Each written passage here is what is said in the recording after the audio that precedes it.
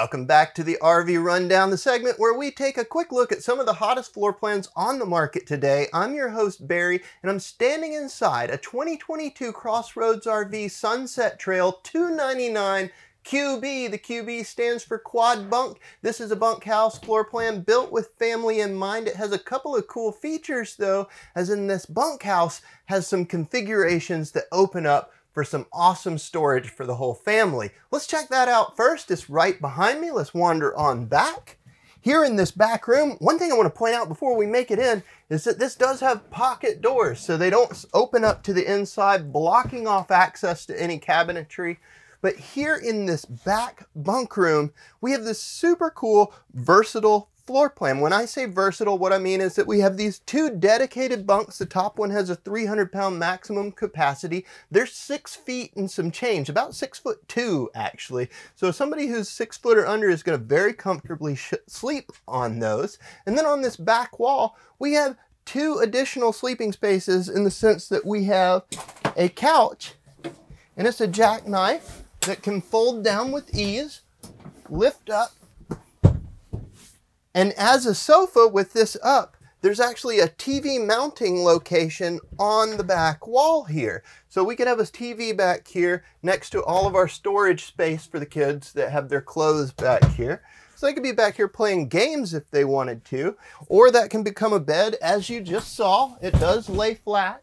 And then we've got yet another bunk up above it. When all of that's up, this adds to just the overall storage because they've given us an outside access door to this back bunk room. I think that's super cool. It's an excellent use of space. And it's right next to our bathroom, which is right here. The bathroom itself is not super huge, but it does contain everything you could think you need in the sense that we've got the foot flush toilet, we've got some storage around our sink in the form of a medicine cabinet and storage down below it, and a nice shower enclosure. Across from that, a pantry because we always need more storage space than we think we do. This is an excellent use of a kind of dead corner in this floor plan. Our main living room, again, remember we could have a TV hooked up back there so mom and dad can be sitting in the theater seating right across from our big flat screen TV. Again, storage is the name of the game. We've got it above and below. And our control panel is right here under the TV. Now, I'm gonna go ahead and say it.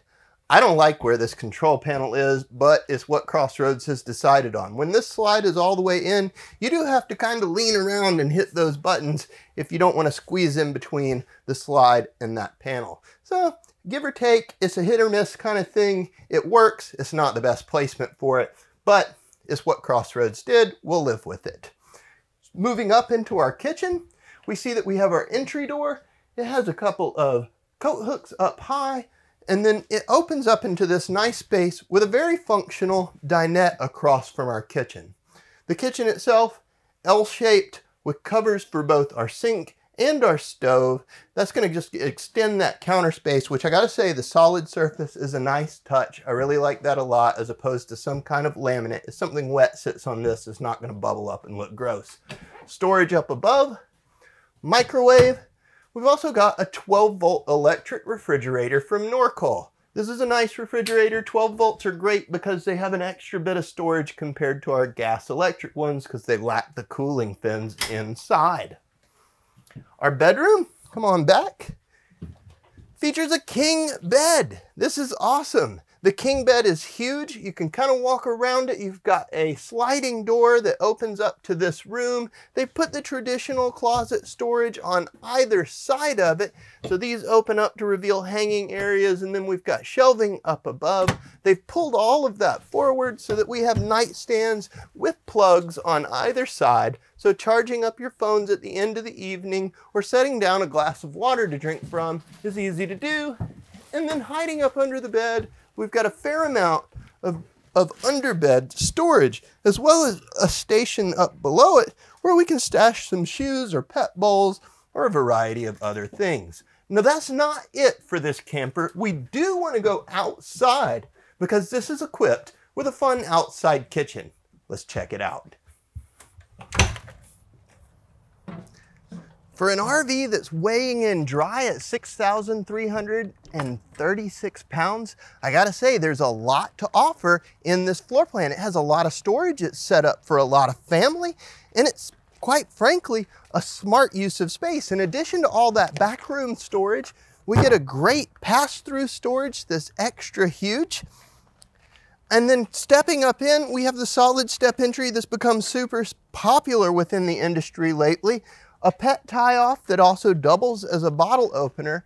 We've got a big electric awning, outside speakers, and then here at the very back, we have an outside kitchen. This is kind of smart. It has a Hotpoint electric refrigerator off to the right there. And then if I unlatch this and give it a tug, we'll see a nice metal surface top with our big capital grill that ties into our LP system, so it's gonna light off with ease. There's a little bit of storage up in behind it, and all of this is up under our LED lit awning. So that's a great way to end the day cooking some burgers or dogs outside on your patio, just enjoying your campsite. I think this is a super cool floor plan. You should definitely check it out in person here at Southern RV in McDonough, Georgia, or check us out online at southernrv.com. You can also give us a call at 770-477-0552. And until next time, guys, as always, happy camping.